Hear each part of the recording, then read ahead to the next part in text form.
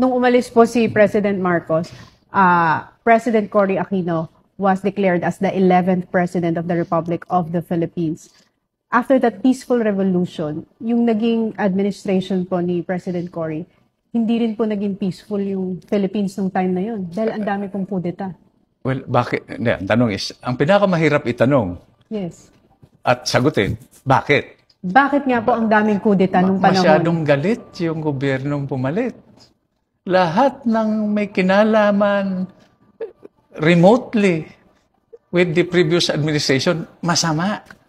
Di ba, di ba presidente ka na ng lahat ng Pilipino, kasama yung mga kalaban mo sa politika, kasama na siguro yung mga pinagdududahan mo na pumaslang sa sa sa asawa no, di ba? Which has never been resolved. So, pag ganun siguro you rise to the level of a stage person, no? Hindi ko inusgan si Mrs. Aquino. Sinasabi ko lang na, pag presidente ka na, parang sa South Africa, Hmm. di ba? Majority si Mandela. Mandela. Di ba? Pareho silang Nobel Peace Prize. Minority si de Klerk. Bakit nag-Peace Prize sila? Paano nabuo nila yung South Africa? The same problems. Black majority. Naging global statesmen yung dalawa. Ga- ganon siguro ang, ang inaasahan namin, no? na you will rise above your, your anger. Personal ang galit mo, pero pangulo ka na.